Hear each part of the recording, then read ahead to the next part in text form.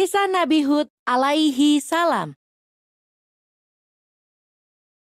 Kaum Ad adalah keturunan dari pengikut Nabi Nuh. Mereka tinggal di pegunungan Al-Ahof yang sangat subur. Mereka semua hidup makmur dan bahagia.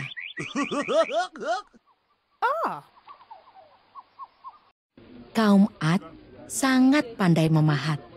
Mereka membangun rumah-rumah serta benteng yang megah dan menghiasinya dengan patung-patung yang menawan. Mereka juga mulai membuat patung untuk disembah. Patung berhala yang mereka buat sangat banyak hingga akhirnya mereka mulai melupakan Allah. Kaum Ad semakin berkembang banyak di antara mereka yang suka berbuat curang, berjudi, dan berkelahi.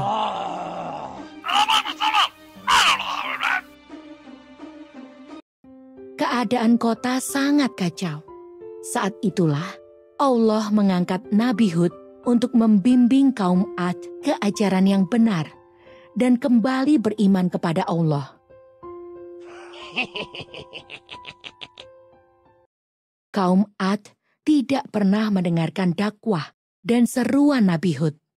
Mereka tetap menyembah dan berdoa pada patung berhala.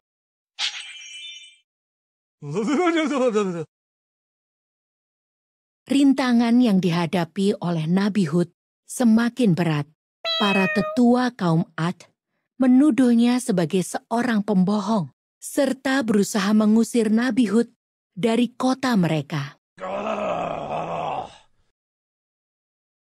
Kaum Ad meminta Nabi Hud untuk membuktikan bahwa Allah itu ada. Mereka sungguh-sungguh tidak takut pada hukuman Allah. Nabi Hud kemudian berdoa seraya memohon petunjuk dari Allah. Allah memberikan peringatan pada Nabi Hud untuk pergi meninggalkan kota.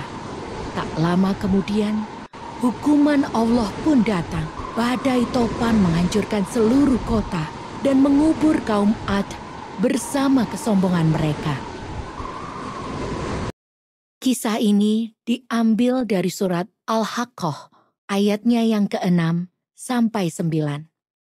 Adapun kaum Ad, maka mereka telah dibinasakan dengan angin yang sangat dingin lagi amat kencang yang Allah menimpakan angin itu kepada mereka selama tujuh malam dan delapan hari terus-menerus.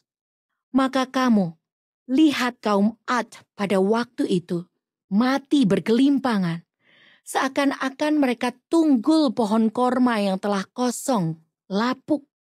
Maka kamu tidak melihat seorang pun yang tinggal di antara mereka. Dan telah datang Fir'aun, dan orang-orang yang sebelumnya, dan penduduk negeri-negeri yang dijungkir balikan karena kesalahan yang besar.